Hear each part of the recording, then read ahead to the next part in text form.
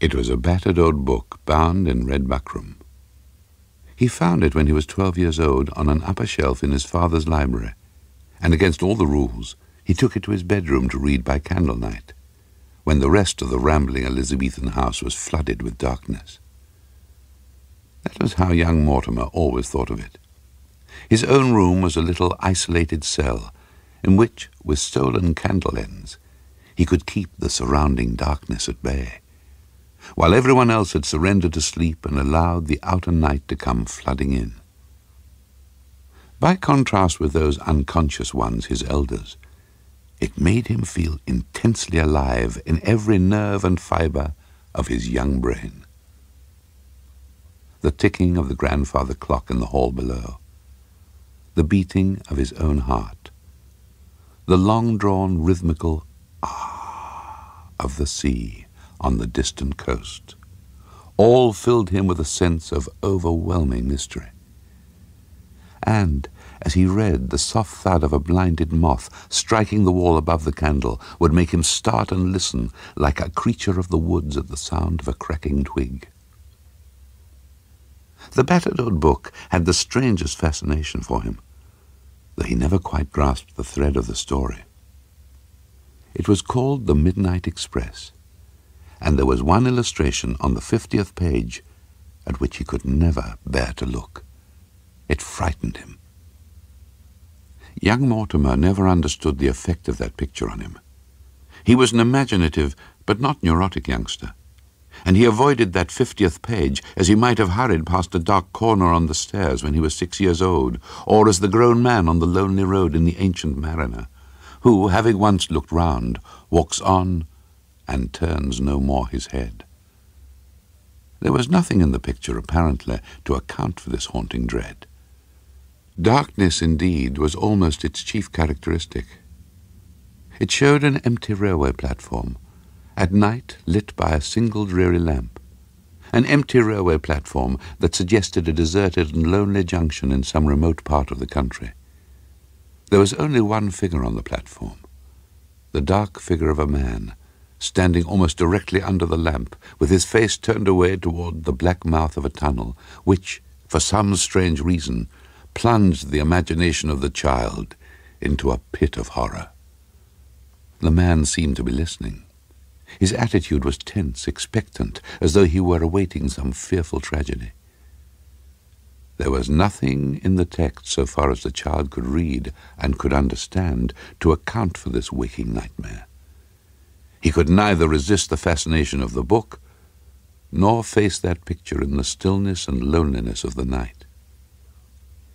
He pinned it down to the page facing it with two large pins so that he should not come upon it by accident. Then he determined to read the whole story through. But always, before he came to page 50, he fell asleep, and the outlines of what he had read were blurred, and the next night he had to begin again and again before he came to the fiftieth page. He fell asleep. He grew up and forgot all about the book and the picture. But halfway through his life, at that strange and critical time when Dante entered the dark wood, leaving the direct path behind him, he found himself, a little before midnight, waiting for a train at a lonely junction. And, as the station clock began to strike twelve, he remembered. Remembered like a man waking from a long dream. There, under the single dreary lamp, on the long glimmering platform, was the dark and solitary figure that he knew. Its face was turned away from him toward the black mouth of the tunnel. It seemed to be listening, tense, expectant, just as it had been thirty-eight years ago. But he was not frightened now as he had been in childhood. He would go up to that solitary figure, confront it, and see the face that had so long been hidden, so long averted from him. He would walk up quietly and make some excuse for talking to it. He would ask it, for instance, if the train was going to be late. It should be easy for a grown man to do this. But his hands were clenched when he took the first step, as if he too were tense and expectant. Quietly, but with the old vague instincts awakening, he went toward the dark figure under the lamp. past it, swung round abruptly to speak to it, and saw, without speaking, without being able to speak, it was himself staring back, as in some mocking mirror, his own eyes alive in his own white face. Looking into his own eyes, alive. The nerves of his heart tingled as though their own electric currents would paralyze it. A wave of panic went through him. He turned, gasped, stumbled, broke into a blind run, out through the deserted and echoing ticket office, onto the long moonlit road behind the station. The whole countryside seemed to be utterly deserted. The moonbeams flooded it with the loneliness of their own deserted satellite.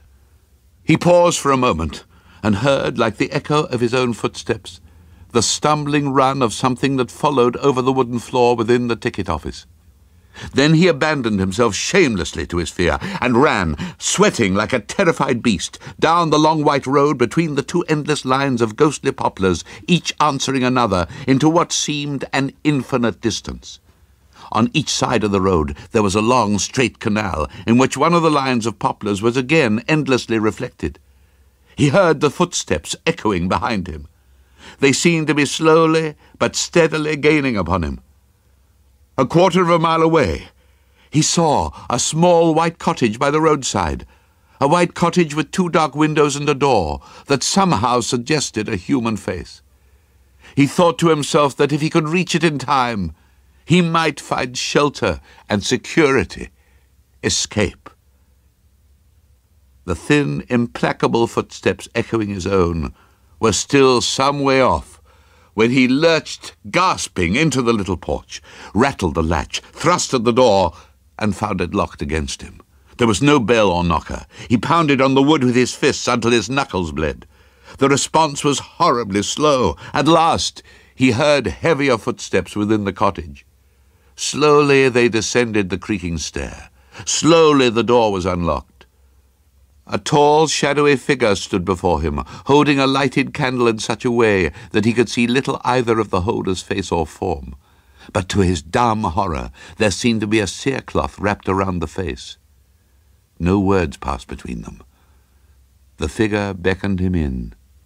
As he obeyed, it locked the door behind him.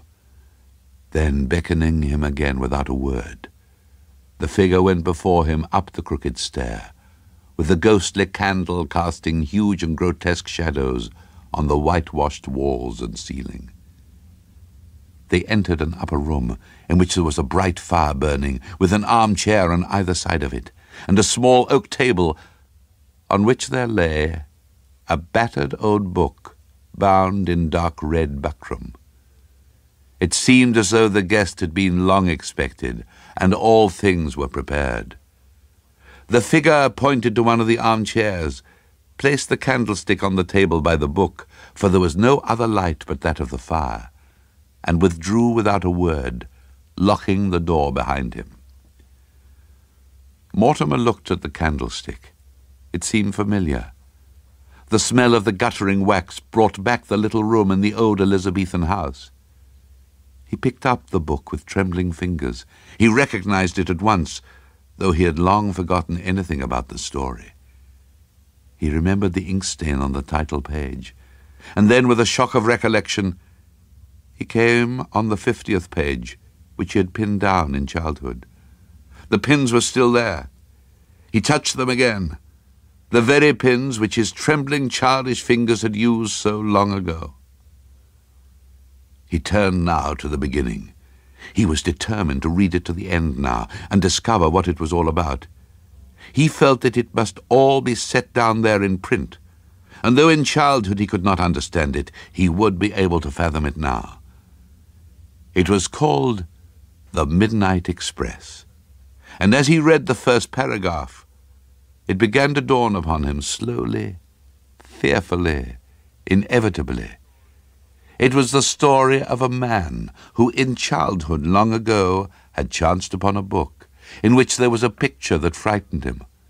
He had grown up and forgotten it, and one night upon a lonely railway platform he had found himself in the remembered scene of that picture. He had confronted the solitary figure under the lamp, recognized it, and fled in panic. He had taken shelter in a wayside cottage and had been led to an upper room, found the book awaiting him, and had begun to read it right through to the very end at last. And this book too was called The Midnight Express, and it was the story of a man who in childhood it would go on forever and forever and forever. There was no escape. But when the story came to the wayside cottage for the third time, a deeper suspicion began to dawn upon him. Slowly, fearfully, inevitably. Although there was no escape, he could at least try to grasp more clearly the details of the strange circle, the fearful wheel in which he was moving. There was nothing new about the details. They had been there all the time, but he had not grasped their significance. That was all. The strange and dreadful being that had led him up the crooked stair. Who and what was that? The story mentioned something else that had escaped him. The strange host who had given him shelter was about his own height. Could it be that he also... And was this why the face was hidden? At the very moment when he asked himself that question, he heard the click of the key in the locked door. The strange host was entering, moving toward him from behind, casting a grotesque shadow, larger than human, on the white walls in the guttering candlelight. It was there, seated on the other side of the fire facing him, with a horrible nonchalance, as a woman might prepare to remove a veil, it raised its hands to unwind the cerecloth from its face. He knew to whom it would belong, but would it be dead or living? There was no way but one. As Mortimer plunged forward and seized the tormentor by the throat, his own throat was gripped with the same brutal force. The echoes of their strangled cry were indistinguishable and when the last confused sounds died out together, the stillness of the room was so deep that you might have heard the ticking of the old grandfather clock and the long-drawn rhythmical ah of the sea on a distant coast 38 years ago. But Mortimer had escaped at last. Perhaps after all, he had caught the Midnight Express. It was a battered old book, bound in red buckram. Mr. Spallner put his hands over his face. There was the feeling of movement in space, the beautifully tortured scream, the impact and tumbling of the car with wall, through wall, over and down like a toy, and him hurled out of it. Then silence. The crowd came running. Faintly where he lay, he heard them running. Where the crowd came from, he didn't know. He struggled to remain aware, and then the crowd faces hemmed in upon him, hung over him like the large glowing leaves of down-bent trees. How swiftly a crowd comes, he thought, like the iris of an eye compressing in out of nowhere. A siren, a police voice, movement. Blood trickled from his lips, and he was being moved into an ambulance. Someone said, is he dead? And someone else said, No, he's not dead. And a third person said, He won't die. He's not going to die. And he saw the faces of the crowd beyond him in the night, and he knew by their expressions that he wouldn't die. And that was strange. He saw a man's face, thin, bright, pale. The man swallowed and bit his lips, very sick. There was a small woman, too, with red hair and too much red on her cheeks and lips, and a little boy with a freckled face, others' faces, an old man with a wrinkled upper lip, an old woman with a mole upon her chin. They had all come from where? Out of alleys and out of hotels and out of streetcars, and seemingly out of nowhere they came. The crowd looked at him, and he looked back at them and did not like them at all. There was a vast wrongness to them. He couldn't put his finger on it. They were far worse than this machine-made thing that happened to him now. The ambulance doors slammed. Through the windows he saw the crowd looking in, looking in. That crowd that always came so fast, so strangely first, to form a circle, to peer down, to probe, to gawk, to question, to point, to disturb, to spoil the privacy of a man's agony by their frank curiosity. The car wheels spun in his mind for days, one wheel, four wheels spinning and whirring around and around. He knew it was wrong. Something wrong with the wheels and the whole accident, and the running of feet and the curiosity. The crowd faces mixed and spun into the wild rotation of the wheels. He awoke. How do you feel? asked the doctor. The wheels faded away. Mr. Spallner looked around. Fine, I guess. He tried to find words about the accident. Doctor. Yeah? Do accidents make people, well, a little off? Temporarily, sometimes. He lay staring up at the doctor. Does it hurt your time sense? Panic sometimes does. Makes a minute seem like an hour, or maybe an hour seem like a minute. Yes. Let me tell you then. The crowd got there too quickly. Thirty seconds after the smash, they were all standing over me and staring at me. It's not right they should run that fast so late at night. You only think it was thirty seconds, said the doctor. It was probably three or four minutes. Your senses. Yeah, I know. My senses. The accident. But I was conscious. I remember one thing that puts it all together and makes it funny. God, so damn funny the wheels of my car upside down. The wheels were still spinning when the crowd got there. The front wheels. Wheels don't spin very long. Friction cuts them down. And these were really spinning. Oh, you're confused, said the doctor. I'm not confused. That street was empty. Not a soul in sight. And then the accident and the wheels still spinning and all those faces over me, quick, in no time and the way they looked down at me. I knew I wouldn't die.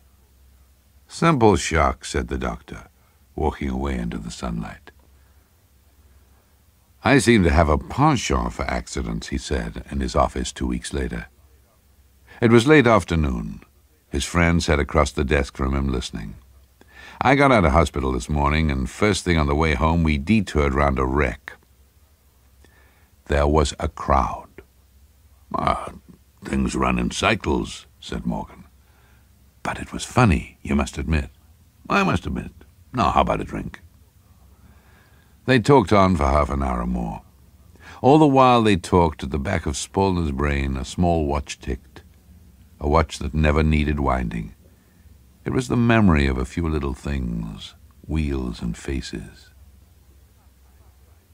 At about 5.30 there was a hard metal noise in the street.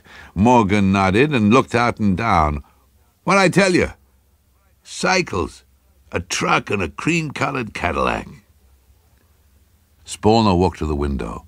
He was very cold, and as he stood there he looked at his watch, at the small second hand. One, two, three, four, five seconds. People running. Eight, nine, ten, eleven, twelve. From all over, people came running. Fifteen, sixteen, seventeen, eighteen seconds. More people, more cars, more horns blowing. Curiously distant, Spallner looked upon the scene as an explosion in reverse. The fragments of the detonation sucked back to the point of impulsion. Nineteen, twenty, twenty-one seconds, and the crowd was there. Spallner made a gesture down at them, wordless. The crowd had gathered so fast. He saw a woman's body a moment before the crowd swallowed it up. Spallner was out of the door, Morgan after him, and down the stairs as rapidly as possible. Come along, Harry. Take it easy. You're not a well man. They walked out under the street. Spallner pushed his way forward. He thought he saw a red-headed woman with too much red color on her cheeks and lips. There, he said wildly to Morgan. Did you see her? See who? Oh, damn it, she's gone. The crowd closed in. He saw another familiar face. A little freckled boy ran away and vanished among the people. Is she dead? A voice asked. Is she dead? She's dying, someone else replied. She'll be dead before the ambulance arrives. They shouldn't have moved her. They shouldn't have moved her. All the crowd faces, familiar yet unfamiliar, bending over, looking down, looking down. Spallner came back out, and Morgan caught hold of him before he fell. They moved her, Morgan. Someone moved her. You should never move a traffic victim. It kills them. It kills them. Yeah, that's the way with people, the idiots. Spallner arranged the newspaper clippings carefully. Morgan looked at them. What's the idea? Ever since your accident, you think every traffic scramble is part of you. What are these?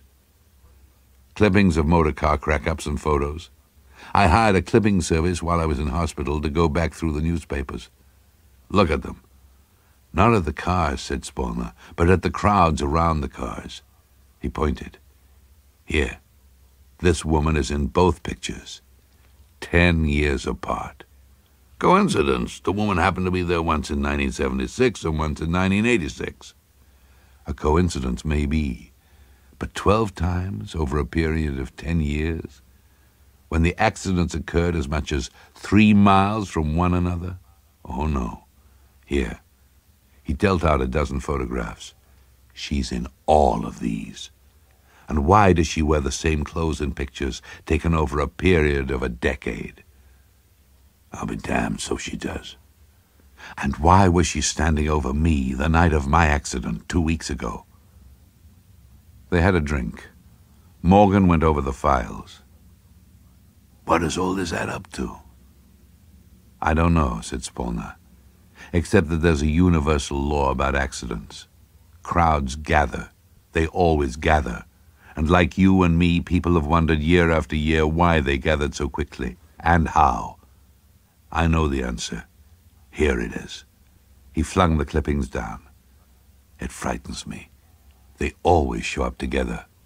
At a fire or an explosion or on the sidelines of war, at any public demonstration of this thing called death. Vultures, hyenas, or saints. I don't know which they are.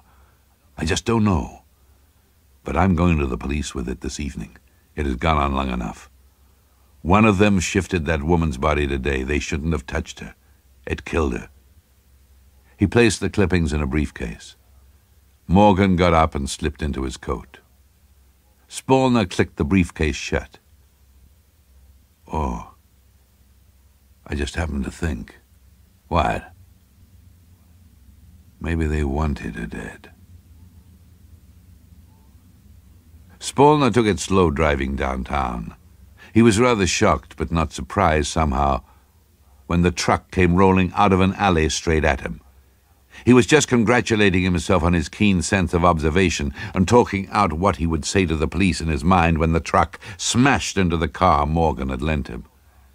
He was forced back and forth in several lightning jerks. Then all motion stopped, and only pain filled him up. He heard their feet running and running and running. He fumbled with the car door. It clicked. He fell out upon the pavement drunkenly and lay ear to the asphalt listening to them coming.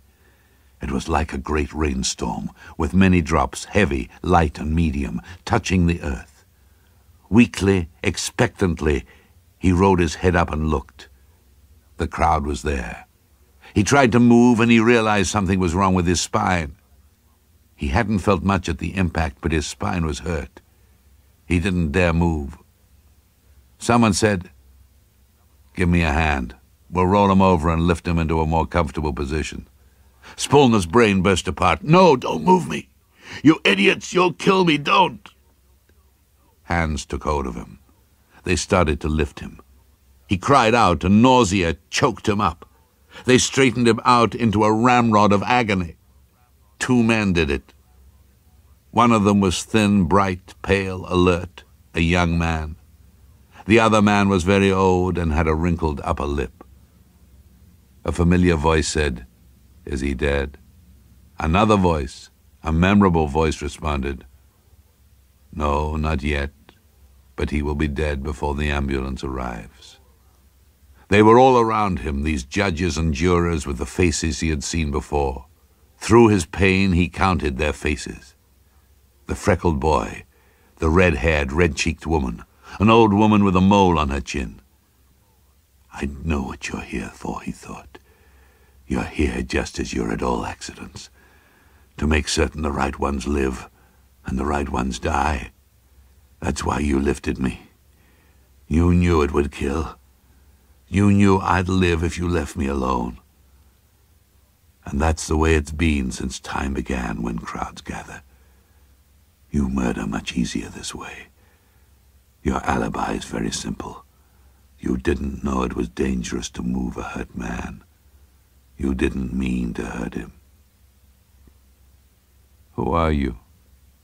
Where do you come from? And how do you get here so soon? You're the crowd that's always in the way, using up good air that a dying man's lungs are in need of, using up space he should be using to lie in alone, tramping on people to make sure they die. That's you. I know all of you. Eyes inverted over him, faces.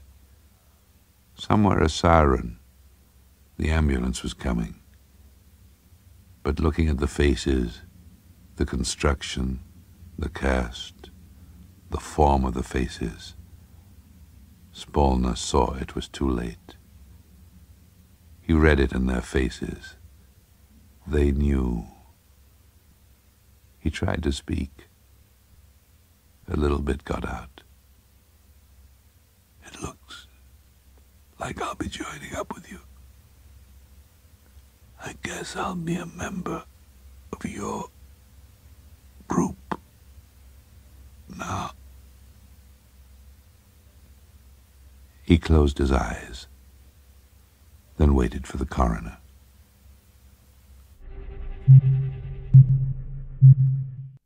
Craven came out past the Achilles statue in the thin summer rain.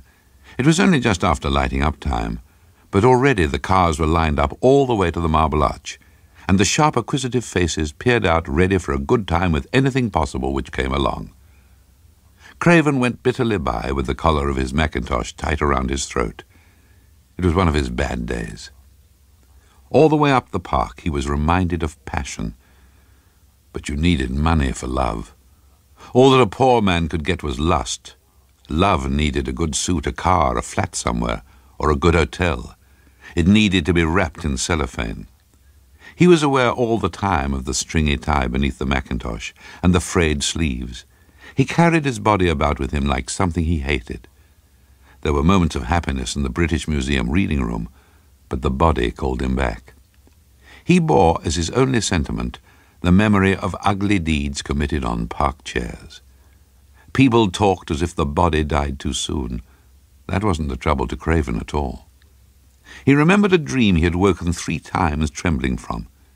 He had been alone in the huge, dark, cavernous burying ground of all the world. Every grave was connected to another under the ground. The globe was honeycombed for the sake of the dead, and on each occasion of dreaming he had discovered anew the horrifying fact that the body doesn't decay. There are no worms and dissolution. Under the ground the world was littered with masses of dead flesh ready to rise again, with their warts and boils and eruptions.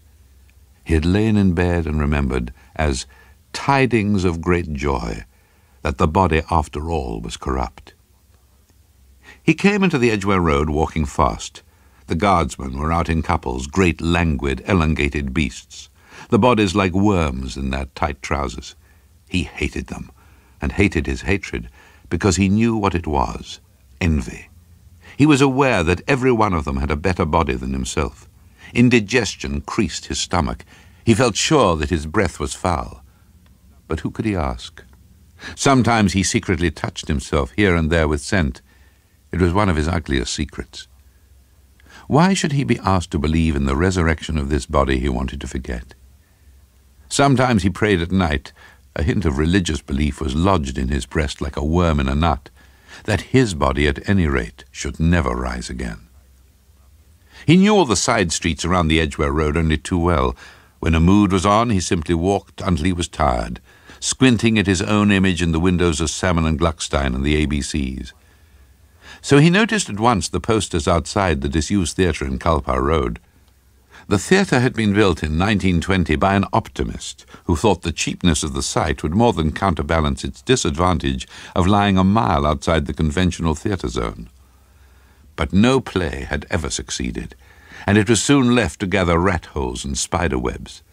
The covering of the seats was never renewed, and all that ever happened to the place was the temporary false life of an amateur play or a trade show. Craven stopped and read the home of the silent film. The first season of Primitives was announced, a highbrow phrase. There would never be a second. Well, the seats were cheap, and it was perhaps worth a shilling to him, now that he was tired, to get in somewhere out of the rain. Craven bought a ticket and went into the darkness of the stalls. In the dead darkness, a piano tinkled something monotonously recalling Mendelssohn. He sat down in a gangway seat and could immediately feel the emptiness all around him. On the screen, a large woman in a kind of toga wrung her hands, then wobbled with curious jerky movements towards a couch. Sometimes she seemed to dissolve altogether into dots and flashes and wiggly lines. A subtitle said, Pompilia, betrayed by her lover Augustus, seeks an end to her troubles. Craven began at last to see. A dim waste of stalls. There were not twenty people in the place a few couples whispering with their heads touching, and a number of lonely men like himself, wearing the same uniform of the cheap mackintosh. They lay about at intervals like corpses, and again Craven's obsession returned, the toothache of horror. He thought miserably, I am going mad. Other people don't feel like this. Even a disused theatre reminded him of those interminable caverns where the bodies were waiting for resurrection.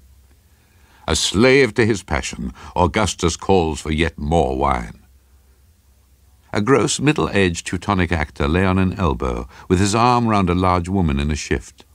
The spring song tinkled ineptly on, and the screen flickered like indigestion. Somebody felt his way through the darkness, scrabbling past Craven's knees, a small man. Craven experienced the unpleasant feeling of a large beard brushing his mouth. There was a long sigh as the newcomer found the next chair, and on the screen events had moved with such rapidity that Pompilia had already stabbed herself, or so Craven supposed, and lay still and buxom among her weeping slaves. A low, breathless voice sighed out close to Craven's ear. What's happened? Is she asleep? Uh, no, dead. Murdered. The voice asked with keen interest. I, I, I don't think so uh, stabbed herself. Nobody said hush. Nobody was enough interested to object to a voice. They drooped among the empty chairs in attitudes of weary inattention. The film wasn't nearly over yet, but the small bearded man in the next seat seemed to be interested only in Pompilia's death. The fact that he had come in at that moment apparently fascinated him.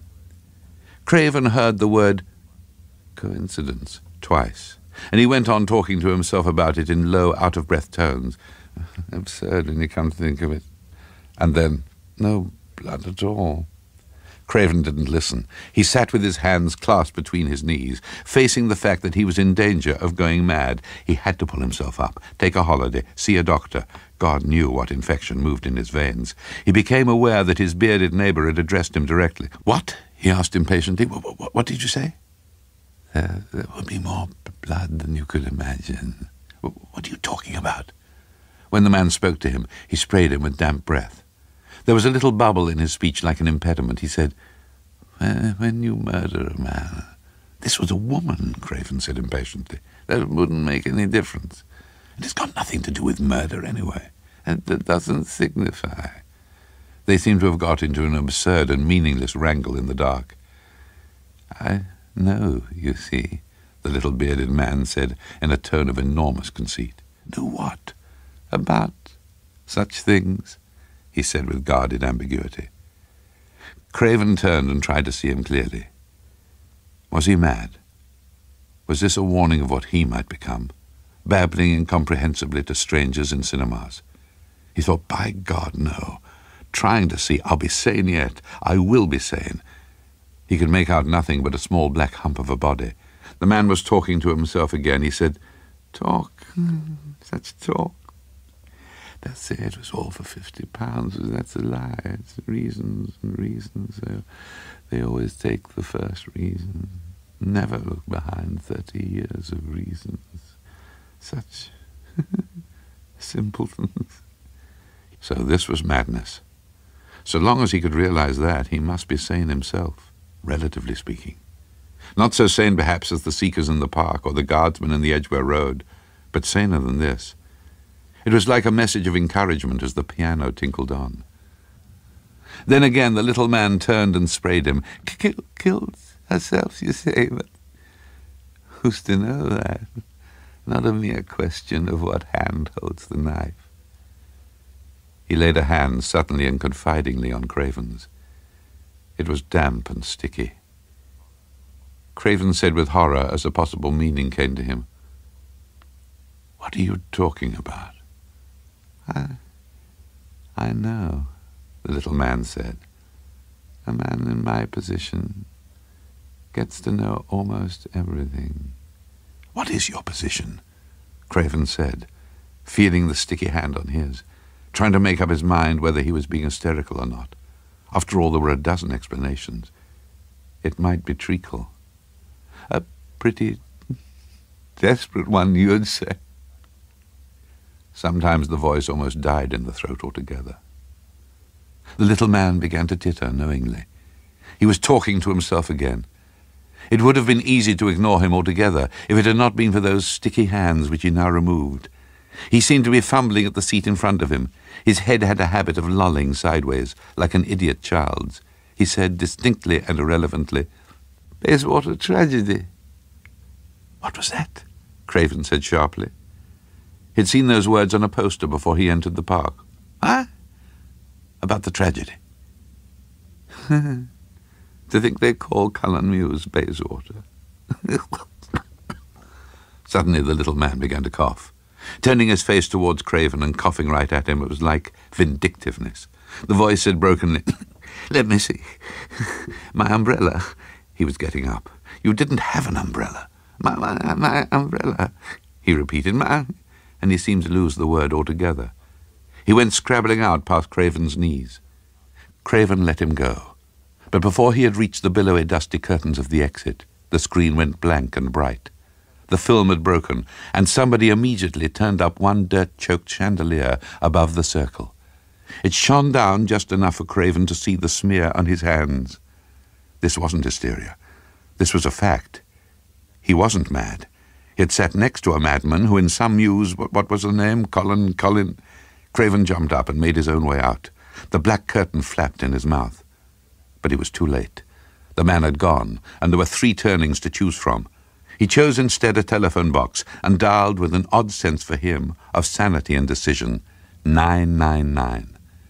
It didn't take two minutes to get the right department. They were interested and very kind. Yes, there had been a murder in a mews, Cullen Mews. A man's neck had been cut from ear to ear with a bread knife, a horrid crime. He began to tell them how he had sat next to the murderer in a cinema. It couldn't be anyone else. There was blood on his hands, and he remembered with repulsion as he spoke the damp beard. There must have been a terrible lot of blood. But the voice from the yard interrupted him. No, no, no, no, it was saying. We have the murderer. No doubt of it at all. It's the body that's disappeared. Craven put down the receiver. He said to himself aloud, why should this happen to me? Why to me? He was back in the horror of his dream. The squalid, darkening street outside was only one of the innumerable tunnels connecting grave to grave where the imperishable bodies lay. He said, It was a dream. A dream. And leaning forward, he saw in the mirror above the telephone his own face sprinkled by tiny drops of blood like dew from a scent spray. He began to scream. I won't go mad. I won't go mad. I'm sane. I won't go mad. Presently, a little crowd began to collect, and soon a policeman came.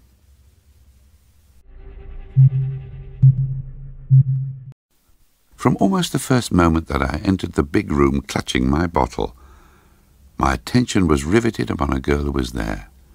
I say a girl, but in fact she was considerably older than I was, thirty at least, I should suppose. She was very blonde and slender, almost ethereal. She had the greenest eyes I'd ever seen, or have ever seen since, and the biggest too. She wore white boots which went right up under her dress. If this girl worked in my bank, I'd certainly not seen her there. We were never introduced or anything like that, but I simply couldn't bother about anyone else who was there, male or female. I simply gravitated towards and around her. In the end, she said, Hello. You look unhappy. I nodded. That was partly because I was shy and speechless. Come and sit by me, she said, and have a drink. Well, the drink was the usual dreadful stuff that you get at parties where everyone's mucking in, but three or four glasses, each of something different, gave me more confidence, and in the end I was conversing with the girl quite intelligently. We had all kinds of things in common, like books and films and concerts, which I used to go in for at that time as much as I could, and in no time at all I was in seventh heaven. It was absolutely the first time in my life that I had entered that region, and as it happens, it was more or less the last time also. The rest of them were making more and more noise until it was exactly like the bank, or like the sort of tavern my father used to look for. In the end, my girl said, Let's explore. We went upstairs and entered what I suppose was the parents' bedroom. We sat together on the bed. I say, I said, who are you? I'm Laura, she said. She did tell me her other name, but I'm keeping that to myself. She even told me her address and telephone number, and of course I should have written them down, but I supposed them to be burned on my brain forever, as one does at that age. I'm Andrew, I said, and she smiled at me mysteriously. So I put my arm around her shoulders and should have liked to turn out the light, but I knew the door was unlocked and did not dare to go so far as to lock it. She was wearing a thin greeny dress with a pattern on it like waves. I'd never seen a dress like it, but why, it's impossible to describe. Andrew, she said, looking at me with her enormous eyes, I do love you. Oh, let me tell you, it was the supreme moment of my entire life, though I didn't realize that at the time. But then she cried, Andrew, I must go and telephone. I'd quite forgotten. You made me forget. Oh, you, you will come back, I gasped out. Of course, it was dangerous for her to leave the room at all. That was obvious enough. Even so, her reply astonished me. I shall always come back, was what she said. She pulled up her boots and flitted out. Laura didn't come back. In the end, it seemed quite certain that she must have heard something on the telephone which had made her leave at once. I did not care to ask anyone. I was downcast enough on the way home, and it became worse when I realized that I'd forgotten both Laura's exact address and her telephone number. However, I knew her name right enough, and I remembered the name of the road she'd given me. Immediately I reached my digs, I looked Laura up in the communal telephone directory and found that the page was missing. It was not that it had been torn out, though the other chaps often did that. I examined the binding, and it seemed that that particular page had never been there. I slept not one wink that night between rapture and regret. But in the end, I left the banking floor, and I was given a more confidential job of toting records from place to place. It was inevitable that I saw more of the world, though I didn't always like what I saw. On several occasions I even thought of marrying, and the different girls seemed quite keen to have me, but each time I drew back at the last moment. Most men value their freedom, of course, but it was really Laura that was the trouble with me. She'd transfixed me. I could never get her out of my thoughts. Though you may think this odd, because I believe it was as much as eight or ten years before I saw or heard of her again. I was in Paris and strolling through the Parc Monceau on business, when all among the prams and nursemaids I saw her on a seat. My heart turned over. I was all but sick with the shock. Hello, she said. You look unhappy. I am, I said. It's your fault. You must know that. She smiled in that way which so confused me. In which case, we'll go and have a drink and make it up. Oh, you must be cold. I couldn't help saying it because she was wearing very much the same dress. And the same sort of boots. And it was a blustery day in Paris with rain every now and then, and worse undoubtedly to come. I've been waiting too, she said reproachfully. She never added much to that. We wandered off across the park to a funny little place in a side street.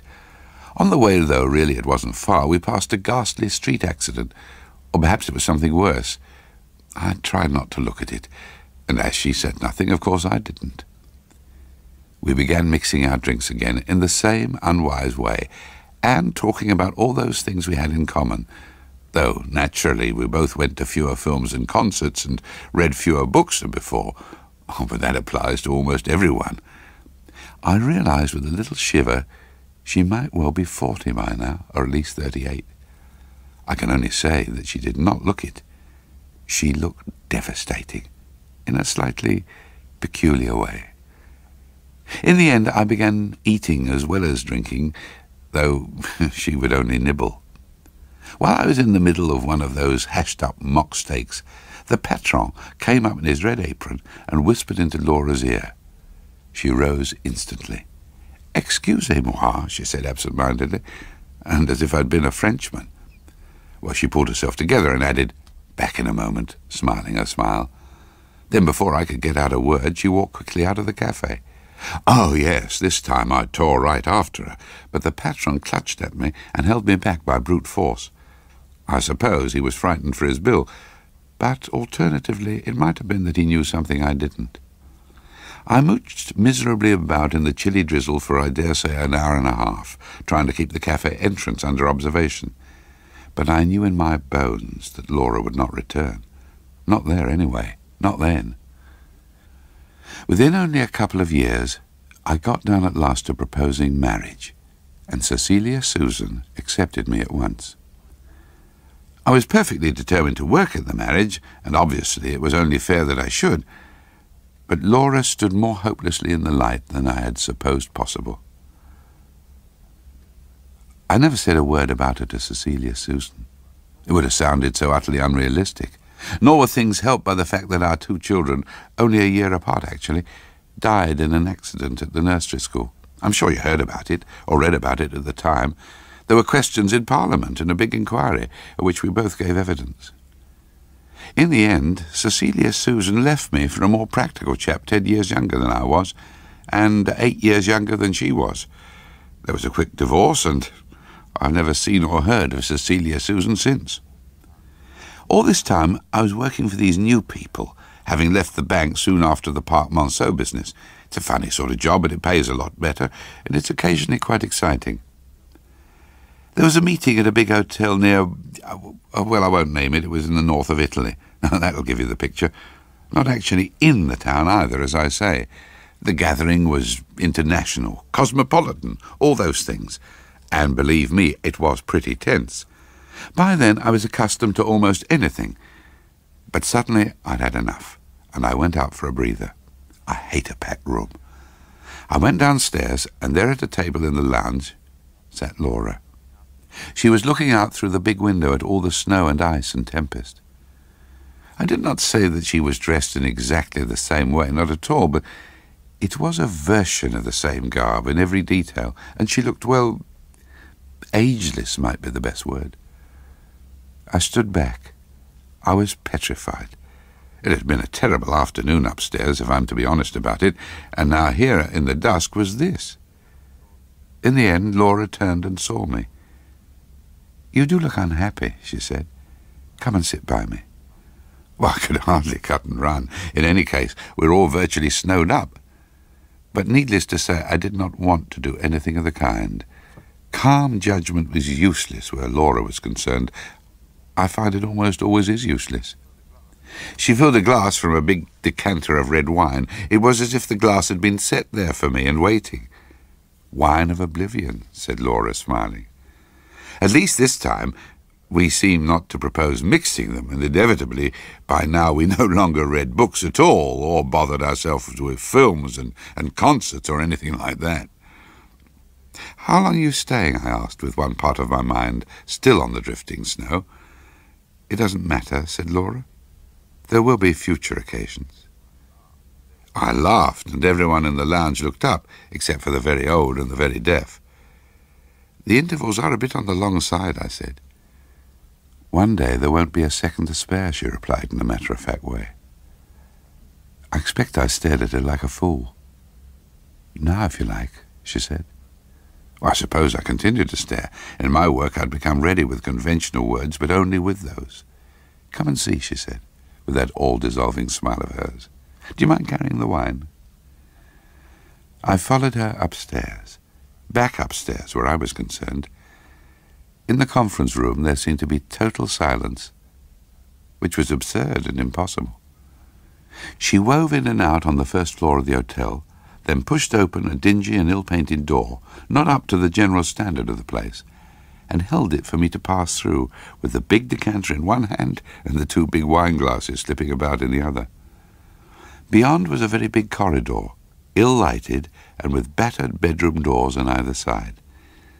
There were holes in the carpet and big cracks in the plaster of the ceiling, through which things might emerge when most people had gone to bed.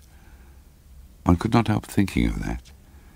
Plainly it was a wing which had been virtually closed, and not only for the off-season, one would suggest. I marvelled that Laura should, as I presume, sleep there and dwell there. Before long I was unable to reconcile so long a corridor with the outside of the building, as I'd glimpsed it for a moment on arrival. On and on and on I tramped after her, tripping over the ragged carpet, coping with my slithery burdens. She opened a door to our left. I felt immediately that it might have been any door. She stood at the portal, smiling. Really, she was much too lightly clad for the dreadful chill of that corridor, where the central heating had been so long turned off. In her wavy dress, she looked more like the sea in summer, though deep and mighty. but you wouldn't possibly understand what I mean. You would have had to be there. One day perhaps you will be. I could only just see into the room.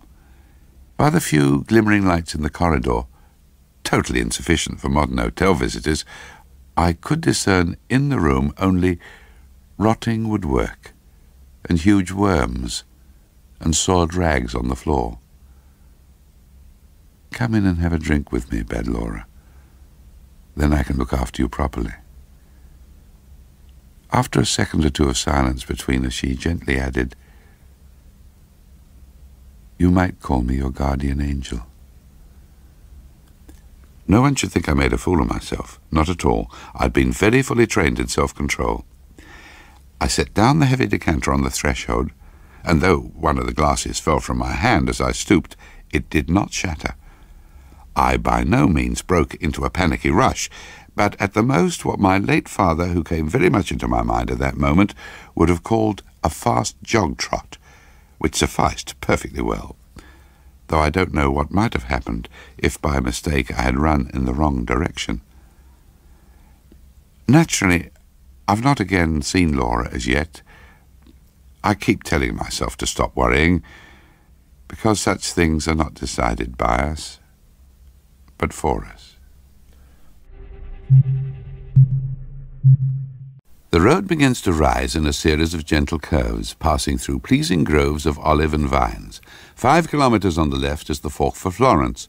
To the right may be seen the Tower of Sacrifice, 470 steps, built in 1535 by Niccolo da Ferramano.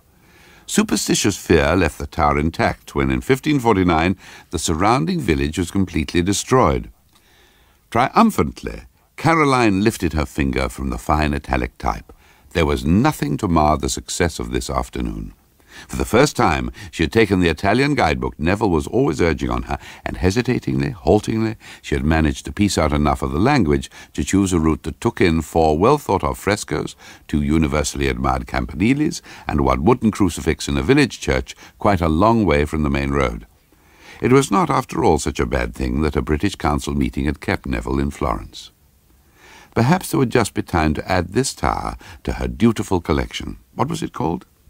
She bent to the guidebook again, carefully tracing the text with her finger to be sure she was translating it correctly word by word. But this time her moving finger stopped abruptly at the name of Niccolo de Ferramano. There had risen in her mind a picture. No, no, not a picture, a portrait of a thin white face with deep-set eyes that stared intently into hers. Why a portrait, she asked. And then she remembered. It had been about three months ago, just after they were married, when Neville had first brought her to Florence.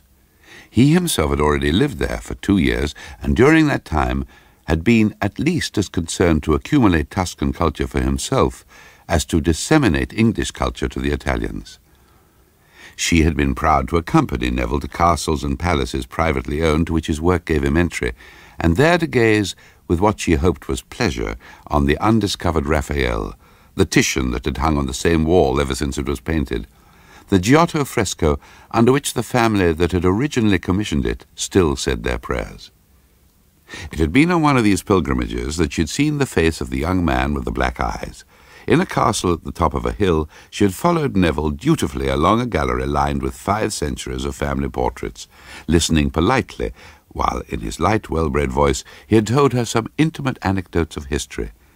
And, involuntarily, she had let her eyes wander round the room.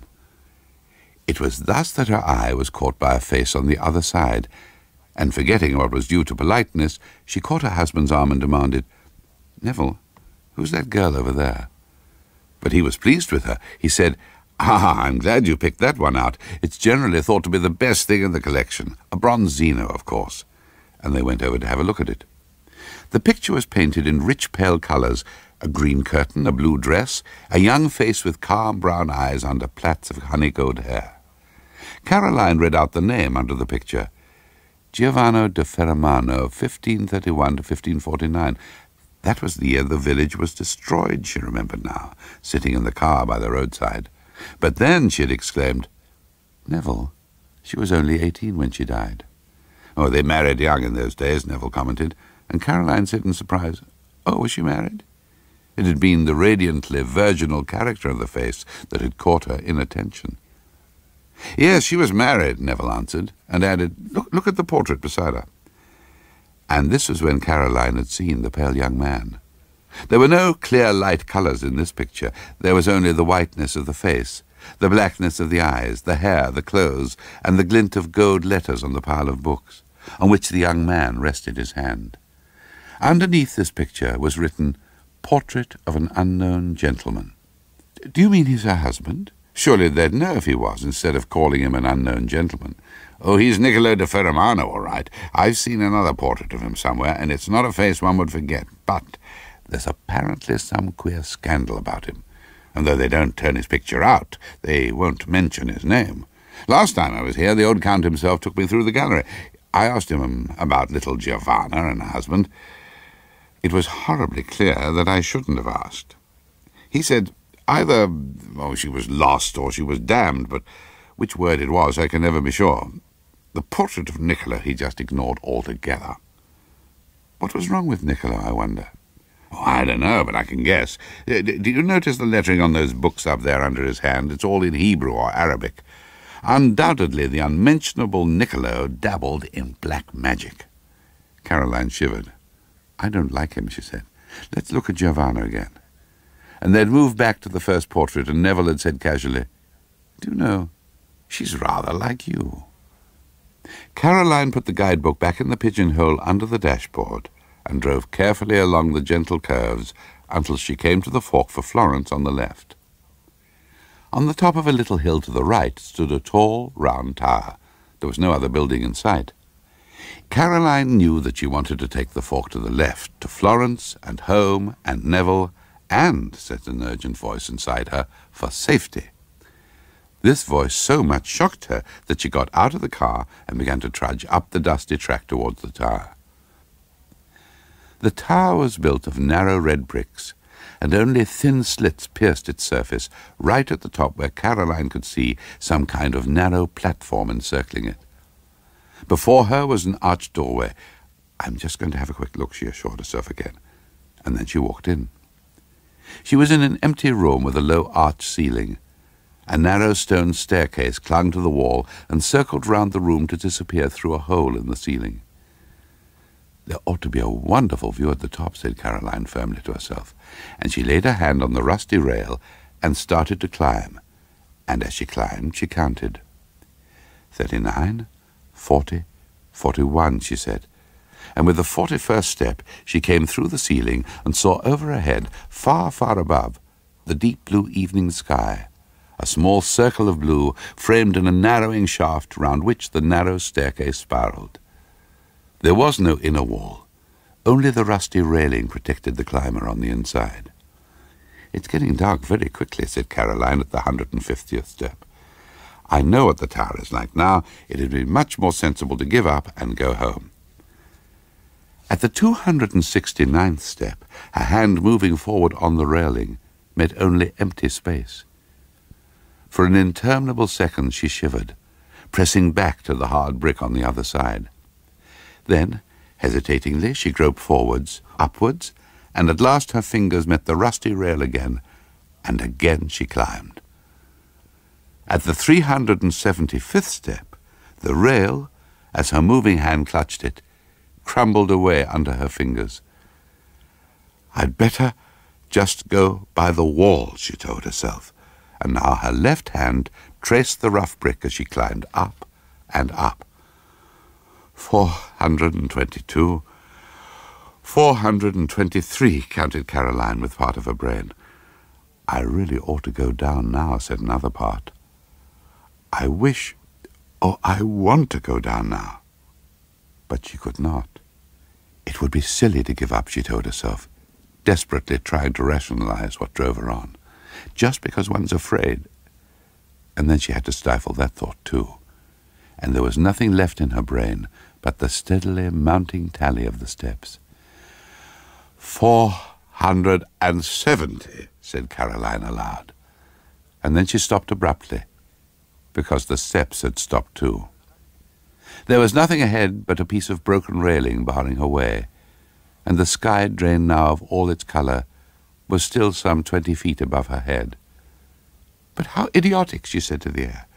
The whole thing's absolutely pointless and then the fingers of her left hand, exploring the wall beside her, met not brick, but wood.